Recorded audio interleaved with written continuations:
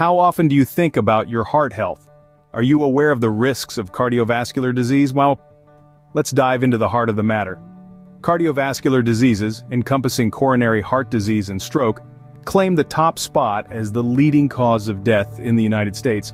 Particularly at risk are blacks and Hispanics in underserved communities. It's a sobering reality, isn't it?